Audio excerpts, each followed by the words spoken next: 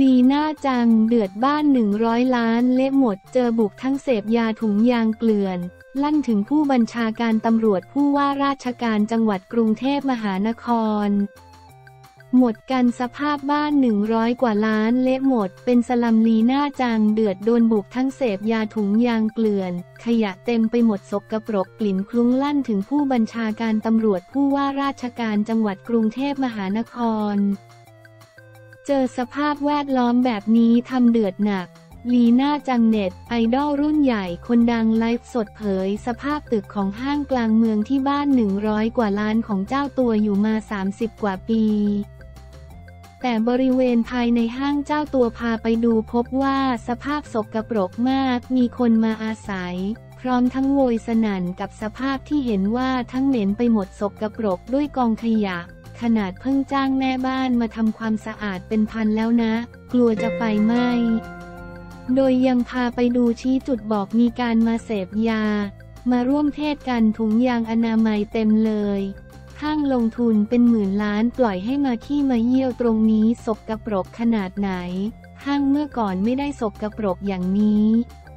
ต่างด้าวเข้ามาแย่งตอนเช้าแผงลอยหน้าบ้านพม่าหมด โดยยังบอกว่าผู้ก่อการร้ายบุกพร้อมโชว์สภาพชิ้นส่วนที่เห็นเกลื่อน รองเท้าเสื้อผ้าเศษขยะกองเกลื่อนกลาดตอมอต้องมาจับปล่อยให้มากินมานอนผู้ก่อการร้ายบุกแล้วต่อศักดิ์สุขวิมล ผู้บัญชาการตำรวจต้องมาจัดการเอามันไปเข้าคุกให้หมด พร้อมทั้งยังเรียกหาผู้ว่าราชการจังหวัดกรุงเทพมหานคชัชชาติต้องมาปิดห้างนี้เลยสกปรกเกินจะรับได้พวกนี้ต่างด้าวหลบหนีเข้าเมืองทำผิดกฎหมายแล้วมาอาศัยห้าง ชั้นสามอินทราสแควร์ อันตรายถ้ามันวางระเบิดวางเพลิงขึ้นมา และยังฝากถึงตอมอมาตรวจสอบด้วย ต่างด้าวหลายชาติช่วงนี้ยิ่งมีปัญหาผู้ก่อการร้ายด้วย ลีน่าจังยังเผยความเดือดร้อนในการอยู่อาศัย ตอนเย็นมีการนัดกันมาเป็นสิบมาเสพยาใกล้แถวหน้าบ้านเจ้าตัว เหม็นเข้ามาในบ้านขนาดปิดกระจก เปิดประตูบ้านเหม็นขยะเข้ามาในบ้าน มีมานอนหน้าบ้านแม่บ้านไปบอกยังจะมาต่อยเอามีดแทงด้วย คลิป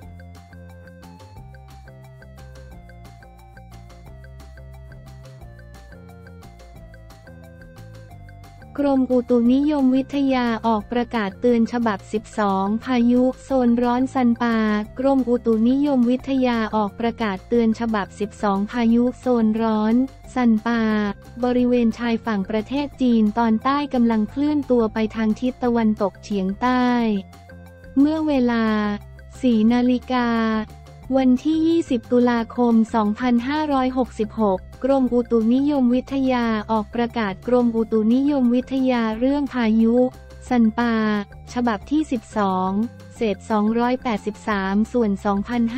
2566 ความว่าเมื่อเวลา 4 นาฬิกาของวันนี้ วันที่ 20 ตุลาคม 66พายุโซนร้อนซันปา บริเวณชายฝั่งประเทศจีนตอนใต้ มีศูนย์กลางอยู่ที่ละติจูด 21.6 องศาเหนือ ลองจิจูด 109.4 องศาตะวันออกมีความเร็วลมสูงสุดใกล้ศูนย์กลางประมาณ 75 กิโลเมตร ต่อชั่วโมงอุตุออกประกาศฉบับ 10 พายุโซนร้อน ซันปาเคลื่อนเข้าชายฝั่งจีนตอนใต้พายุนี้กำลังเคลื่อนตัวไปทางทิศตะวันตกเฉียงใต้ ด้วยความเร็วประมาณ 10 กิโลเมตรต่อชั่วโมง โดยพายุนี้ไม่ส่งผลกระทบโดยตรงต่อลักษณะอากาศของประเทศไทย เส้นทางพายุโซนร้อน ซันปา SANBA จึงขอให้ประชาชนติดตามประกาศจากกรมอุตุนิยมวิทยา และสามารถติดตามข้อมูลที่เว็บไซต์กรมอุตุนิยมวิทยา หรือที่ 02399401213 และ 1182 ได้ตลอด 24 ชั่วโมงประกาศณวันที่ 20 ตุลาคม พศ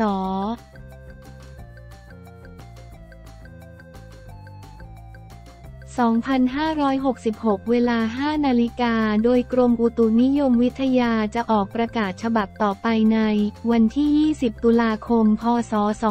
2566 เวลา 11 นาฬิกากรมอุตุนิยมวิทยาประกาศเตือนฉบับ 12 พายุโซนร้อนซันปา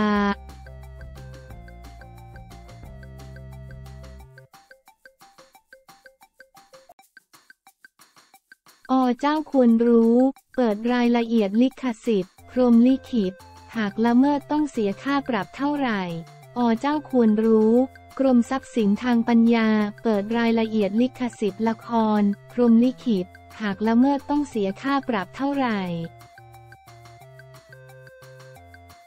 จากกรณีการนำเสนอข่าวว่าละคร พรมลิขิต มีการจดลิขสิทธิ์ครอบคลุมตั้งแต่ตัว character costume รวมถึงประโยคในเรื่องไว้สำหรับผู้ที่คำจะนำไปทำประโยชน์เชิงธุรกิจนั้น ล่าสุดทางกรมทรัพย์สินทางปัญญาให้ข้อมูลเรื่องนี้ว่าประเด็นลิขสิทธิ์ที่เกี่ยวกับละครพรหมลิขิตหนึ่ง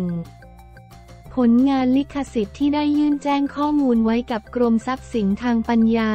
บริษัท BEC World จำกัด มหาชน ได้ยื่นแจ้งข้อมูลลิขสิทธิ์ที่เกี่ยวข้องกับภาพยนตร์เรื่อง พรหมลิขิตไว้กับกรมทรัพย์สินทางปัญญาจำนวน 16ผลงานได้แก่จิตรกรรม 1 ผลงานและภาพถ่าย 15 ผลงาน 2 ประเด็นที่เป็นที่สนใจจากกรณีดังกล่าว 2.1 costume ประโยคฮิต character ของตัวละครการแต่งกายด้วยชุดไทยคำพูดจาแบบในละครได้รับความคุ้มครองลิขสิทธิ์หรือไม่ เนื่องจากงานลิขสิทธิ์จะต้องเป็นงานสร้างสรรค์ตามประเภทที่กฎหมายกำหนด ซึ่งไม่รวมถึง costume เสื้อผ้าเครื่องแต่งกายของตัวละคร ประโยคฮิตของละคร character ของตัวละครการแต่งกายด้วยชุดไทยคำพูดจาแบบในละคร ดังนั้นงานดังกล่าวจึงไม่ได้รับการคุ้มครองตามกฎหมาย ทุกคนสามารถนำไปใช้ประโยชน์ได้อย่างอิสระสามารถพูดประโยคฮิตหรือแต่งตัวด้วยชุดไทยเหมือนในละครได้ตามปกติอย่างไรก็ดี สำหรับกรณีผลงานสร้างสารรค์ที่อยู่ในขอบเขตของงาน9ดอกจันประเภทที่กฎหมายให้การคุ้มครอง เช่น บทภาพยนตร์ตัวผลงานละครย่อมเป็นลิขสิทธิ์ของผู้สร้างสรรค์ และบุคคลอื่นไม่สามารถนำไปก๊อปปี้ ดัดแปลงหรือเผยแพร่ต่อ โดยที่เจ้าของลิขสิทธิ์ไม่อนุญาตดอกจันงานที่กฎหมายกำหนดให้มีลิขสิทธิ์มี 9 ประเภทคือ งานวรรณกรรม นาฏกรรม ศิลปกรรม ดนตรีกรรม สิ่งบันทึกเสียงสดทัศนวัสดุภาพยนตร์งานแพร่เสียงแพร่ภาพหรือ งานอื่นใดอันเป็นงานในแผนกวรรณคดี แผนกวิทยาศาสตร์ หรือแผนกศิลปะ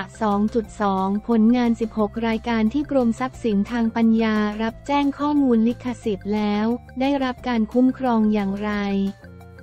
งานที่เข้าข่ายเป็นงานลิขสิทธิ์ จะได้รับการคุ้มครองทันทีโดยอัตโนมัติ โดยไม่ต้องจดทะเบียนกับกรมทรัพย์สินทางปัญญา แต่บริการจดแจ้งข้อมูลลิขสิทธิ์ของกรม เป็นเพียงการรวบรวมข้อมูลไว้ในฐานข้อมูลเพื่อประโยชน์ในเชิงพาณิชย์บนพื้นฐานความสมัครใจเท่านั้นผลงาน 16 รายการและงานลิขสิทธิ์อื่น ๆ ของละครเรื่องพรมลิขิตได้รับการคุ้มครองตามกฎหมายลิขสิทธิ์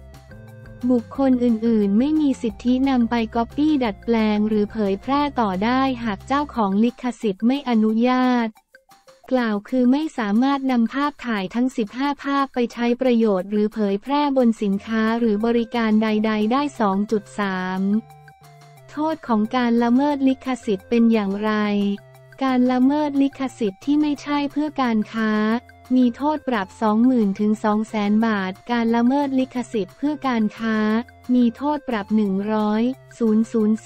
800 00 บาท หรือจำคุก 6 เดือนถึง 4 ปี หรือทั้งจำทั้งปรับ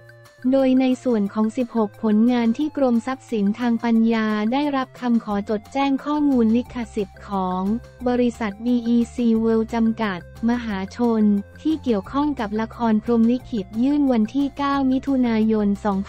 2566 มีหนึ่งผลงานประเภทศิลปกรรมลักษณะงานจิตรกรรมชื่อผลงาน พรมลิขิต มี 15 ผลงานประเภทศิลปกรรมลักษณะงานภาพถ่ายชื่อผลงานพระยาวิสูตรสาครและเกตสุราง พุทธานพ่อเรือง พ่อฤทธิ์พระนามนรงและจันวาด แม่ตองกีมาจะหมื่นสีสอนรัก จ้อย พระยาโกษาธิบดี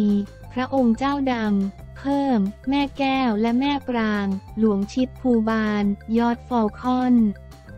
หมู่สงและพระยาวิสูตรสาครและเกตสุรางสองขอบคุณที่มามติชน